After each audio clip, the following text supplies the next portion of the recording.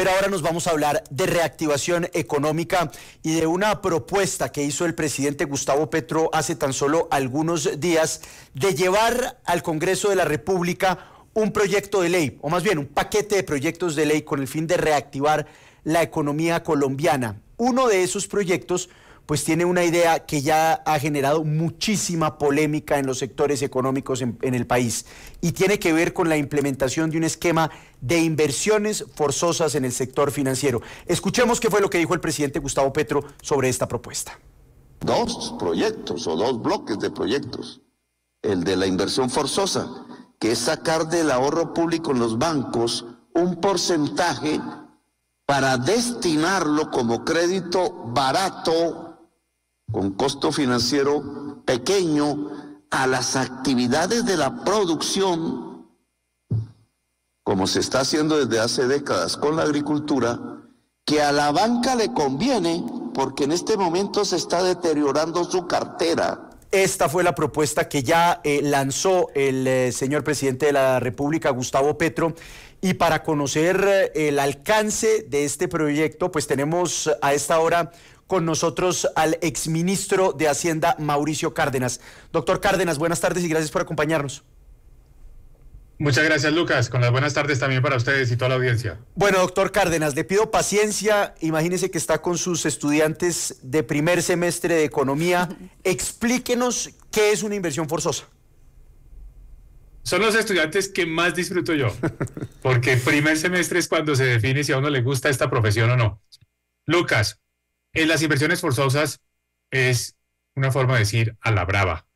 Es decir, coger el ahorro que llevamos todos los colombianos a los bancos, nuestras cuentas corrientes, nuestras cuentas de ahorro, y obligatoriamente decir a los bancos, ustedes no se quedan con esa plata, la llevan al gobierno, a unos bancos del Estado, a unos fondos que tiene el Estado. Entonces, lo que está implícito en lo que está diciendo el presidente Petro es, señores bancos, ustedes no saben manejar el crédito, se les está deteriorando el crédito. Mándenme esa plata a mí, que yo sí sé a quién dársela. Se la va a dar además en unas condiciones muy atractivas, muy favorables, y finalmente con eso pueda ganar algo de popularidad. Eso es lo que está diciendo el presidente Petro.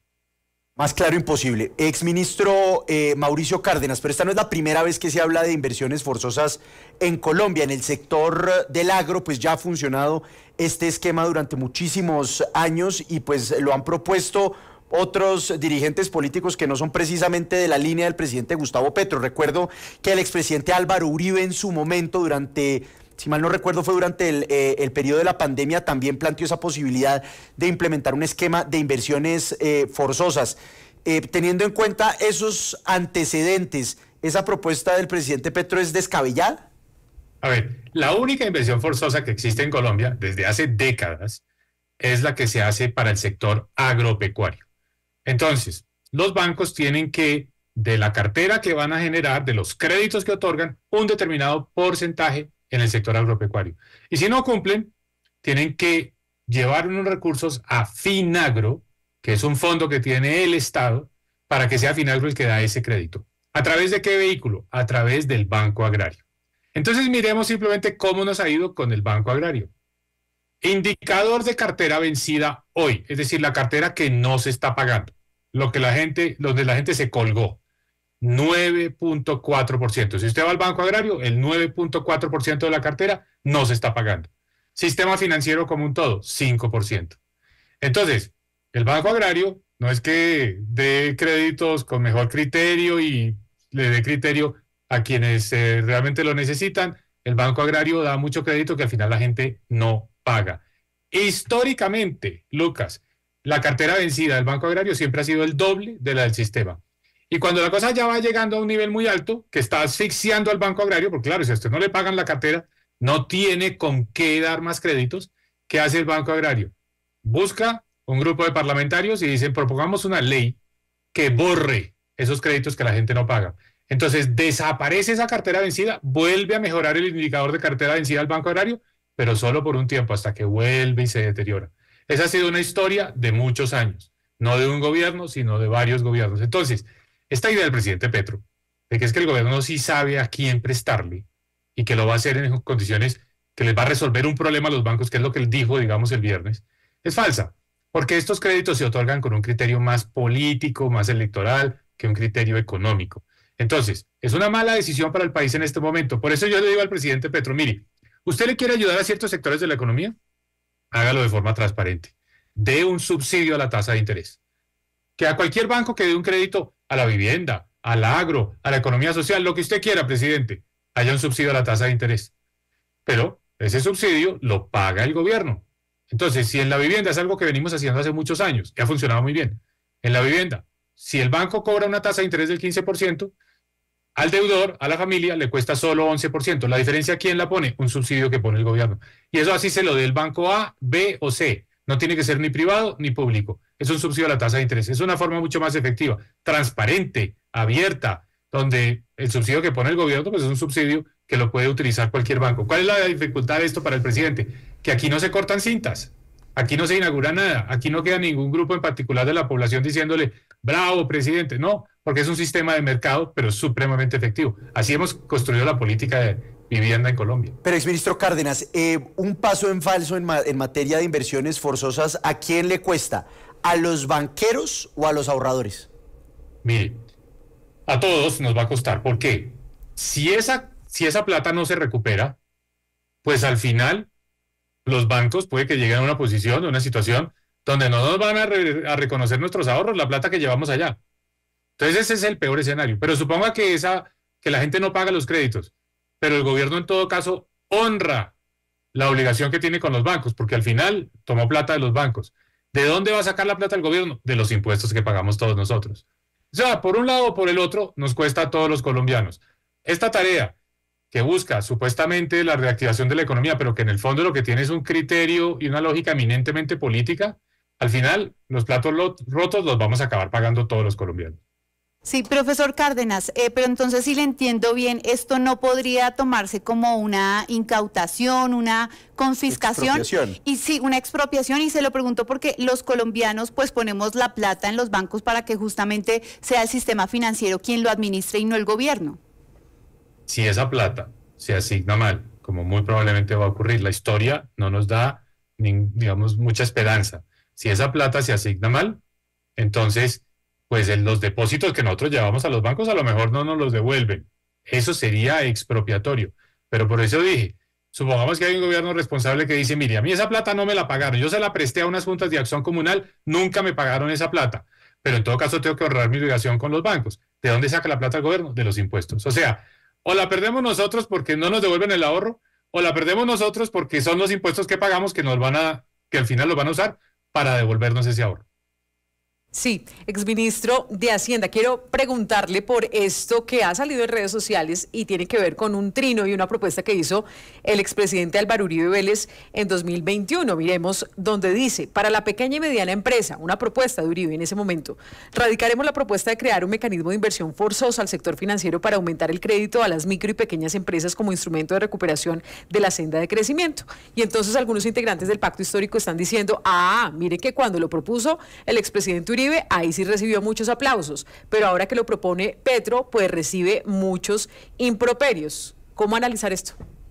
La idea es tan mala, propuesta por Gustavo Petro o propuesta por Álvaro Uribe. Es igual de mala. No cambia nada.